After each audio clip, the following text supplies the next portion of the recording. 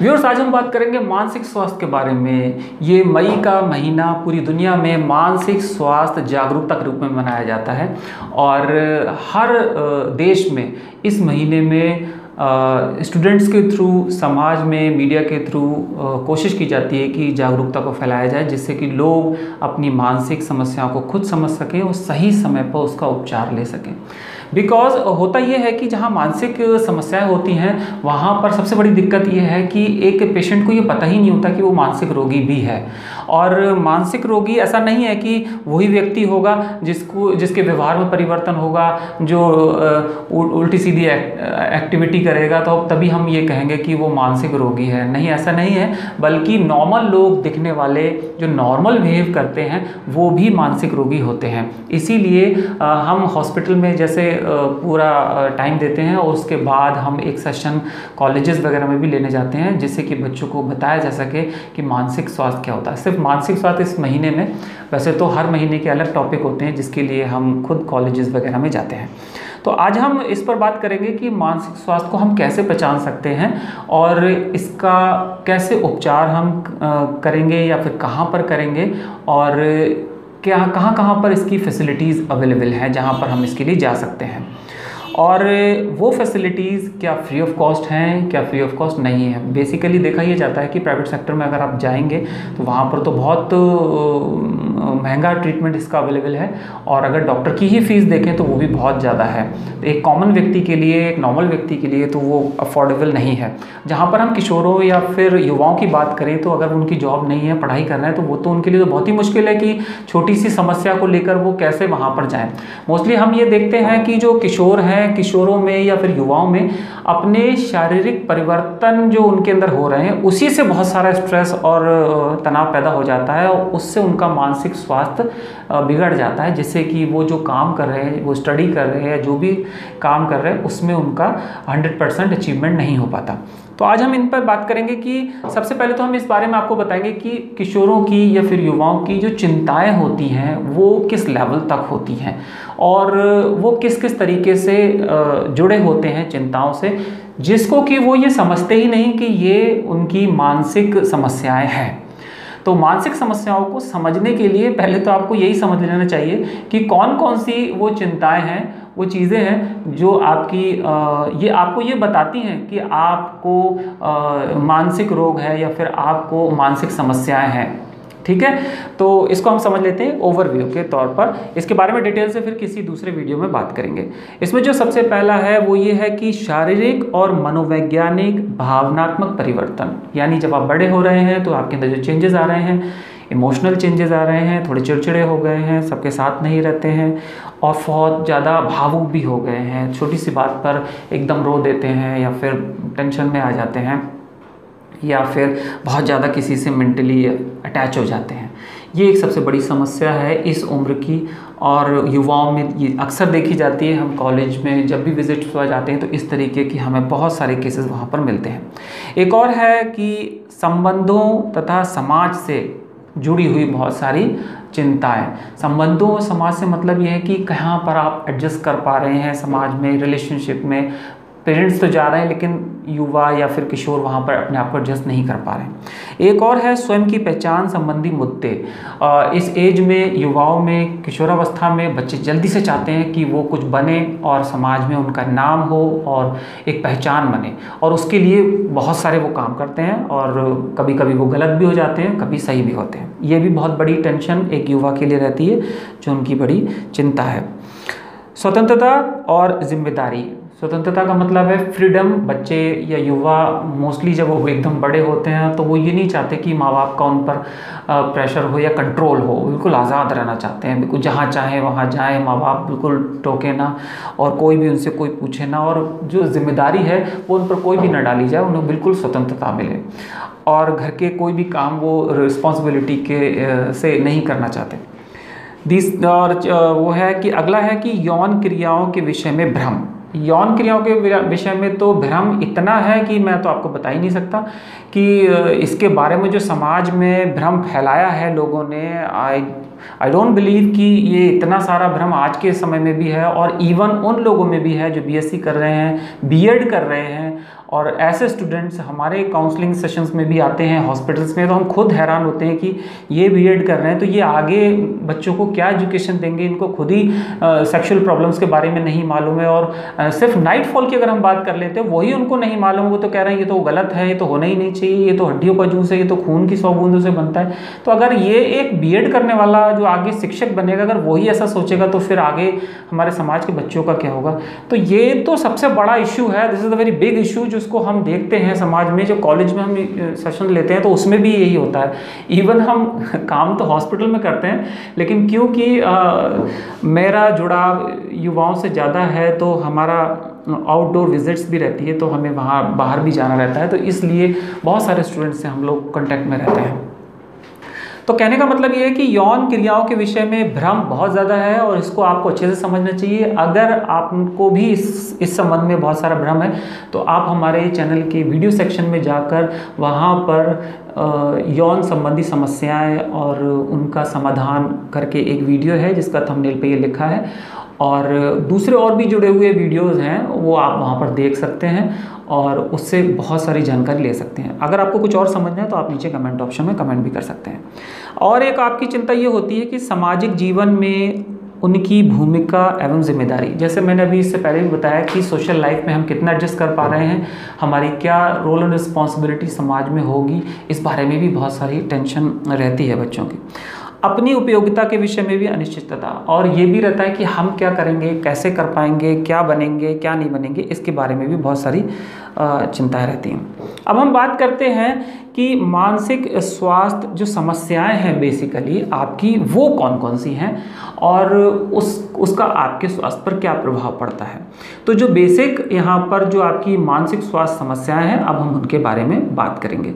उसमें जो सबसे पहला है, वो है तनाव तथा चिंताएँ सबसे पहला स्ट्रेस और आपकी जो चिंताएँ हैं, वो है। स्ट्रेस के बहुत सारे कारण होते हैं फैमिली के भी हो सकते हैं फैमिली की तरफ़ से फाइनेंशियल भी हो सकते हैं, आपके स्टडी से भी रिलेटेड हो सकते हैं, और एक टाइम फ्रेम कोई काम आपको मिला है, उसकी वजह से भी हो सकते हैं।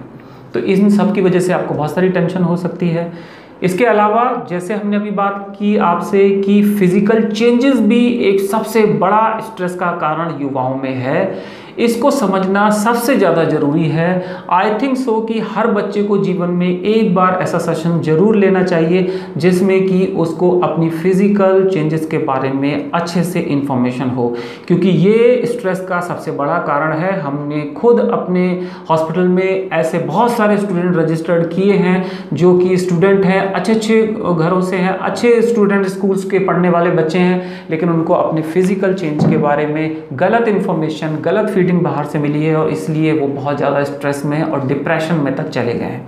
तो इसलिए ये जो समस्या है, जो तनाव तथा चिंताएँ आपकी, ये आपके फ़िज़िकल चेंजेस की वजह से भी सबसे ज़्यादा होती हैं। तो इसके बारे में हम ऑलरेडी वीडियो बना चुके हैं, आप उसको ज़रूर देखें। तनाव के बारे में अगर हम बात करें, जिसे हम टेंशन कहते हैं तो इसके ऊपर मैं फिर कभी स्पेशल अलग से वीडियो लेकर आऊँगा तो हम उस बारे में अच्छे से बात करेंगे। लेकिन अगर इस तरीके की कोई भी आपको चिंता है तो आपको इसका समाधान करना है और इसका उपचार भी है और साथ ही साथ इसके लिए संस्थान भी है। मैं आगे इसके बारे में अभी आपको बताऊँगा। अब है अवसाद। अवसाद का मतलब है कि डिप्रेशन डिप्रेशन का स्टेज जो है, वो लॉन्ग टर्म टेंशन रहने की वजह से फिर लास्ट में अवसाद की स्थिति आ जाती है। यानी कोई भी व्यक्ति जब लंबे समय तक टेंशन में रहेगा तो फिर वो डिप्रेशन में चला जाएगा। लेकिन डिप्रेशन में जाने के पीछे क्या कारण है? मतलब यही कि छोटी छोटी समस्याएँ जो टेंशन के रूप में उसके साथ थी, जिनका उसको समाधान नहीं मिला, जहाँ पर वो उनको सॉल्व नहीं कर पाया, और उसी में रहते रहते रहते वो टेंशन में कन्वर्ट हुई और उसके बाद वो डिप्रेशन में कन्वर्ट हो गई। हमारे यहाँ ये मेडिकल टर्म में कहा जाता है कि लॉन्ग टर्म जो स्ट्रेस होता है, तनाव होता है या जहाँ पर हम किसी चीज़ को काम नहीं कर पाते हैं, अक्षम हो जाते हैं, वहाँ पर जब अक्षमता आ जाती है हमारे अंदर तब वो कन्वर्ट हो जाती है टेंशन में। यानी जहाँ हम किसी चीज़ को कर नहीं पा रहे हैं और हमें करना भी है, तब वो कन्वर्ट हुआ टेंशन में। और जब लॉन्ग टर्म टेंशन रहती है तो वो कन्वर्ट हो जाती है डिप्रेशन में। और जब लॉन्ग टर्म डिप्रेशन रहता है तो वो फिर कन्वर्ट होता है गंभीर परिणामों में।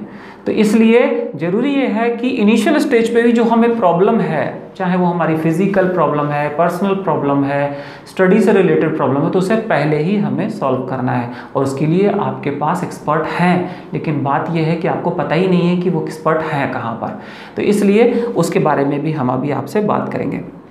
दूसरा है कि यहाँ पर ये कि आहार संबंधी विकार, ये तो सबसे बड़ी समस्या है जिस पर हम ऑलरेडी इस वीडियो से पहले भी डिस्कस कर चुके हैं कि आहार संबंधी तो एक ऐसा समस्या बन गई है कि दो बार तो खाना है ही।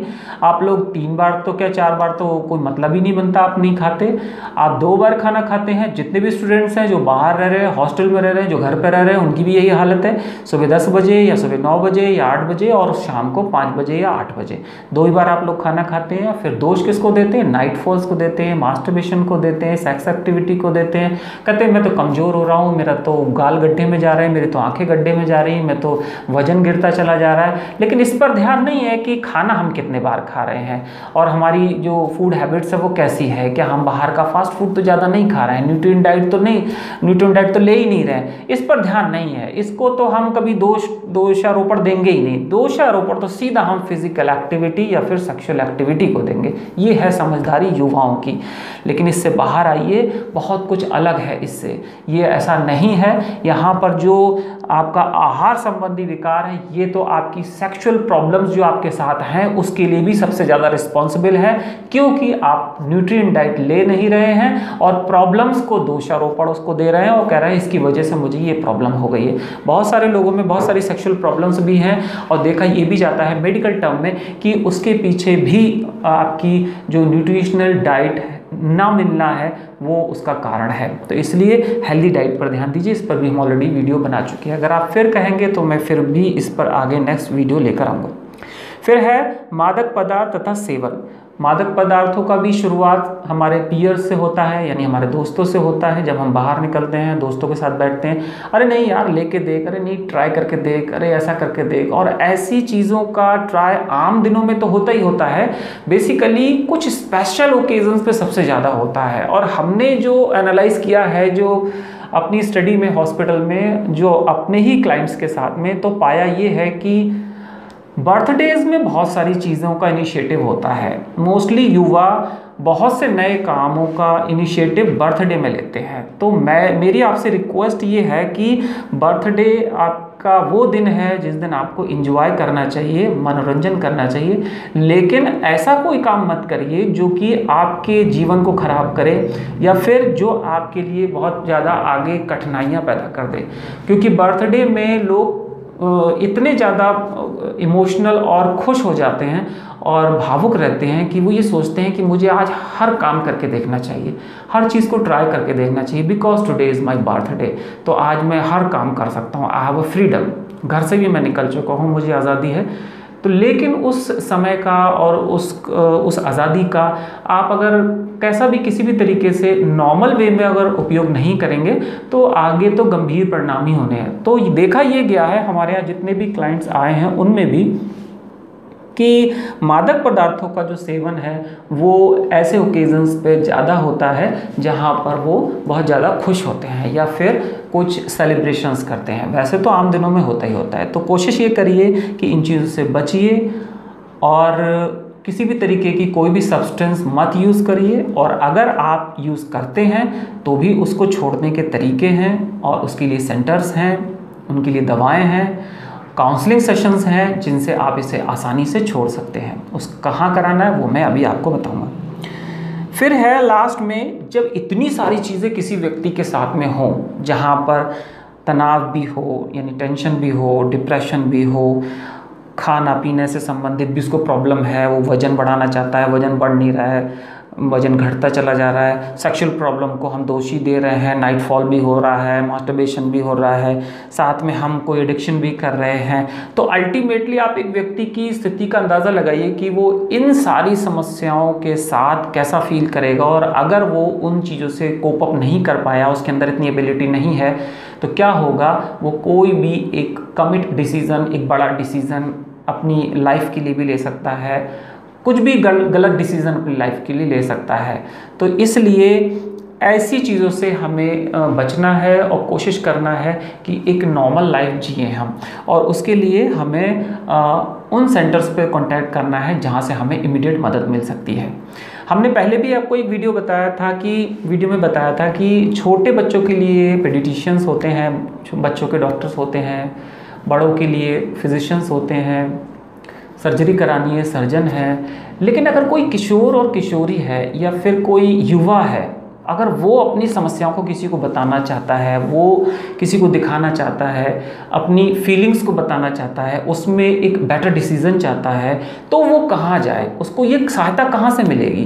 क्योंकि इस तरीके के तो प्राइवेट सेक्टर में तो ऐसे कोई सेंटर्स होते ही नहीं, जहाँ पर आप जाएँ और डॉक्टर को डॉक्टर से मिलें या फिर किसी एक्सपर्ट से मिलें और वो आपको ये बताए कि आपको, आप फेल्योर हो गए तो अब आपको क्या करना है? आपका ब्रेकअप हो गया है तो अब आपको क्या करना है? आपका असॉल्ट हुआ है सेक्सुअल असॉल्ट हुआ है तो आपको क्या करना है? अगर आपको फ़िज़िकल मेंटल इमोशनल फीलिंग है तो आपको क्या करना है? आपको सेक्सुअल फीलिंग अगर आ रही है या फिर सेक्सुअल प्रॉब्लम्स हैं तो आपको क्या करना है? तो इस तरीके के सेंटर्स प्राइवेट सेक्टर में नहीं है, लेकिन गवर्नमेंट सेक्टर में ऐसे सेंटर्स हैं जो बहुत अच्छे से काम कर रहे हैं और उनमें आप जाकर संपर्क कर सकते हैं। वहाँ पर आपको दो सेंटर मिलेंगे। जहाँ पर एक सेंटर है जो कि मानसिक स्वास्थ्य इकाई है, जहाँ पर आपको बेस्ट साइकोलॉजिस्ट भी मिलेंगे साइकेट्रिस्ट भी मिलेंगे और डॉक्टर्स भी मिलेंगे, जहाँ पर आप अपनी जाकर ये समस्या बता सकते हैं। अगर डॉक्टर को ये लगता है कि आपको मेडिसिन की ज़रूरत है तो वो मेडिसिन देगा। साथ ही साथ काउंसलिंग सेशंस तो वो आपके कराएगा ही कराएगा, और जितने भी बार वो आपको बुलाते हैं, उतने बार आपको आना है वहाँ पर। अगर वो मेडिसिन चलाते हैं तो आपको मेडिसिन ज़रूर लेनी है, क्योंकि वो मेडिसिन, कहने में तो मेडिसिन है, लेकिन वो आपके बिहेवियर को, आपके बॉडी को एक नॉर्मल स्मूथनेस लाने में या फिर बिहेवियर में लाने के लिए बहुत इंपॉर्टेंट है। तो आपको सिंपली जिला अस्पताल में अपने नज़दीक के जाना है, जिस भी ज़िले में आप रहते हैं, आप भारत में कहीं भी रहते हो, आपको अपने नज़दीक के डिस्ट्रिक्ट हॉस्पिटल में जाना है। और मैं यहाँ पर एक चीज़ एडिशनल ये भी कहना चाहूँगा, मैं समझता हूँ कि जो और देश हैं, ये ये फैसिलिटी सभी देशों में है। वहाँ पर आप किसी भी जगह रह रहे हैं, अपने नज़दीकी जिला अस्पताल में डिस्ट्रिक्ट हॉस्पिटल में ज़रूर जाकर इस बारे में पता करें। तो फ़िलहाल अगर आप इंडिया की हम बात करें तो इंडिया में अगर आप कहीं पर भी हैं तो आप अपने नज़दीक के जिला अस्पताल में जाइए, वहाँ पर मानसिक इकाई बनी हुई है और वहाँ पर पर्चा बनवा के सीधा आप मानसिक इकाई में जाइए, वहाँ पर उन डॉक्टर से मिलिए। डॉक्टर क्या करेगा, सबसे पहले आपको काउंसलिंग सेशन के लिए भेजेगा कि आखिर प्रॉब्लम है क्या। तो जब आप काउंसलिंग सेशन में जाएँगे तो आधी प्रॉब्लम तो आपकी वहीं दूर हो जानी है, क्योंकि आपको जो भी प्रॉब्लम है, वो वहाँ से शॉर्ट आउट हो जानी है, उसका कारण पता चल जाना है और सोल्यूशन आपको वहाँ से पता चल जाएगा। तो ये एक स्थान हुआ। इस स्थान की स्पेशलिटी थोड़ी सी ये है कि यहाँ पर किसी भी एज ग्रुप का बंदा जा सकता है और वो वहाँ पर जाकर डॉक्टर को दिखा सकता है और ये सेवाएँ ले सकता है। दूसरा एक और स्थान है जहाँ पर आप जा सकते हैं, आप अपनी इन समस्याओं के लिए। उसका नाम है किशोर स्वास्थ्य क्लिनिक, जिनको अब गवर्नमेंट ने थोड़ा नाम उसमें चेंज भी किया है, साथिया क्लिनिक भी रखा है। तो उसका नाम इसलिए रखा है साथिया क्लिनिक जिससे आपको थोड़ा सा अटैचमेंट महसूस हो और आप आराम से वहाँ पर जाएँ। तो वहाँ पर भी आपको ये करना है कि एक पर्चा बनवाना है जिला अस्पताल में जाके, सरकारी अस्पताल में और सीधा संपर्क करना है वहाँ के साथिया खेल से या फिर जिसका नाम किशोर स्वास्थ्य परामर्श केंद्र होता है। या फिर कहीं कहीं पर किशोर स्वास्थ्य क्लिनिक भी लिखा होता है। तो इन जगह पर जाकर आपको संपर्क करना है। वहाँ की स्पेशलिटी ये है कि वहाँ पर 10 से 19 साल तक के किशोर और किशोरी जा सकते हैं। जिला अस्पताल में अगर आप जा रहे हैं तो अगर आप लड़का हैं तो आपको जो कॉमन हॉस्पिटल होता है, जहाँ जनरल हॉस्पिटल होता है, वहाँ संपर्क करना है। और अगर आप लड़की हैं तो आपको महिला अस्पताल में कांटेक्ट करना है, जो कि जिला अस्पताल में ही बना हुआ होता है, दूसरी ब्रांच। तो आप वहाँ पर जा सकते हैं। अगर आप महिला हैं या लड़की हैं आप तो आप सीधा महिला अस्पताल में संपर्क करिए। वहाँ पर आपको महिला काउंसलर मिलेगी, जो कि आपकी समस्याओं को समझेगी और आपको बताएगी। और अगर आप एक युवा हैं, आप किशोर हैं, आप लड़का हैं तो आपको जनरल हॉस्पिटल में जाना है और वहाँ पर्चा बनवा कर वहाँ पर दिखाना है। तो बेस्ट ऑप्शन आपके लिए दोनों जगह अवेलेबल है और जो मानसिक इकाई है, जो मैंने अभी बताया, वो सिर्फ़ जनरल हॉस्पिटल में है। वो किसी भी एज ग्रुप के लिए है, आप वहाँ पर कोई भी व्यक्ति जा सकता है और वहाँ पर डॉक्टर को दिखा सकता है। तो इन दोनों जगह जाकर आप ज़रूर अपनी समस्याओं को बताएँ वहाँ पर जो सेवाएँ दी जा रही हैं, उनका लाभ उठाएँ, इसका कोई चार्जेस नहीं है। सिर्फ़ इतनी सी बात करने के लिए, छोटी सी समस्या को बताने के लिए अगर आप किसी प्राइवेट हॉस्पिटल में जाएँगे, किसी साइकेट्रिस्ट से मिलेंगे तो अच्छे खासे आपके पैसे खर्च हो जाएँगे वहाँ पर, और अगर आप पर्चा बनवा के किसी डॉक्टर से मिलेंगे, तब भी आपके अच्छे खासे पैसे खर्च हो जाएँगे। तो मेरी आपसे रिक्वेस्ट है कि अगर आप किसी भी ज़िले में हैं तो आप अपने सीधे डिस्ट्रिक्ट हॉस्पिटल पहुंचिए और वहाँ पर जाकर आप अपनी मानसिक समस्याओं को दिखा सकते हैं। अगर आप किशोर हैं और आपको फिर भी प्रॉब्लम है किशोरावस्था से जुड़ी हुई तो आप अपने नज़दीक के ब्लॉक स्तर के अस्पताल में भी जा सकते हैं। वहाँ पर भी ये फैसिलिटी उपलब्ध है और वहाँ से भी आप इन समस्याओं को का समाधान ले सकते हैं। लेकिन वहाँ पर सिर्फ़ 10 से 19 साल तक के लोग ही दिखा सकते हैं। अगर इस एज ग्रुप से ज़्यादा के लोग हैं तो वो वहाँ नहीं दिखा सकते, उनको जिला अस्पताल ही जाना पड़ेगा। तो अगर आप किशोर हैं तो आप ब्लॉक स्तर पर भी दिखा सकते हैं, जिनकी उम्र 10 से 19 साल है, और आप जिला अस्पताल में भी दिखा सकते हैं। और अगर आप 20 साल से ऊपर हैं तो आपको जिला अस्पताल में जाना है, वहीं पर आपको साथिया केंद्र और साथ ही साथ अगर आपको मानसिक प्रॉब्लम से संबंधित कुछ जानना है या फिर दिखाना है तो आपके लिए वहाँ पर मानसिक केंद्र भी हैं, और आप वहाँ पर दिखा सकते हैं। मानसिक केंद्र या फिर मानसिक इकाई में जाने के लिए जहाँ पर मैं आपको बता रहा हूँ, ये कभी मत सोचिएगा कि आपको कोई मानसिक रोग नहीं है। मैं तो मानसिक रोगी नहीं हूँ, मुझे तो कोई प्रॉब्लम नहीं है, मैं क्यों जाऊँ वहाँ पर? लेकिन एक बार ज़रूर जाइए वहाँ पर, क्योंकि वहाँ पर आपको जो काउंसलिंग सेशन मिलेगा, वो बहुत ज़्यादा इंपॉर्टेंट होगा आपके लिए और उससे आपको बहुत ज़्यादा लाभ मिलेगा। अगर आप एक बार किसी भी काउंसलर से काउंसलिंग कराते हैं तो जितनी भी टेंशन होती है, जिससे हम गुजर रहे थे, वो काफ़ी हद तक कम हो जाती है। फिर भी अगर आप वहाँ नहीं जा पाते हैं तो एटलीस्ट आपके लिए ये एक प्लेटफॉर्म तो ऐसा है जहाँ पर आप मुझसे बात कर सकते हैं, जहाँ पर आप सेशंस ले सकते हैं। ये भी एक काउंसलिंग सेशन है जो आप मुझसे आप मुझे देख रहे हैं मेरी बात सुन रहे हैं तो आप इस माध्यम से भी अपनी प्रॉब्लम्स को यहाँ पर शॉर्ट आउट कर सकते हैं। लेकिन यहाँ पर हम एक सेशन में एक ही टॉपिक को लेंगे एक सेशन में एक टॉपिक को ही कंप्लीट कर पाएँगे तो इसलिए हम आगे आने वाली सीरीज़ में इन सारी सा, सारी प्रॉब्लम्स को आपके शामिल करेंगे। हमने पिछली वीडियो में भी बताया था अब भी आपको बता रहे हैं कि आने वाले समय में हम आपकी जितनी भी पर्सनल प्रॉब्लम्स हैं उनकी एक सीरीज़ बनाएँगे वन बाय वन नंबर से बनाएँगे और उसमें आप हर एक प्रॉब्लम का सोल्यूशन वहाँ पर देख सकते हैं, वहाँ पर समझ सकते हैं। अगर आप हॉस्पिटल कभी नहीं गए हैं गवर्नमेंट हॉस्पिटल तो आप यहीं अपने घर पर बैठकर उन सारे सेशंस को सुनिए। आपकी जितनी भी प्रॉब्लम्स हैं, वो सारी सॉल्व हो जाएँगी। और मैं समझता हूँ कि इन सारे जो सीरीज़ आएगी आने वाली, उसको देखने के बाद आपको जो मेंटल रिलैक्स मिलेगा, आपको जितना अच्छा महसूस होगा और आगे की जो प्लानिंग है आपकी, जितनी अच्छे से आप कर पाएँगे वो बिना सेशन के आप करने में थोड़ी सी कठिनाई होती है आपको। मैं समझता हूँ कि जो सेशंस आगे आएँगे, वो आपके लिए बहुत इंपॉर्टेंट रहेंगे और आपको वो ज़रूर देखने चाहिए। So this is all for today thanks for watching don't forget to smile see you in next video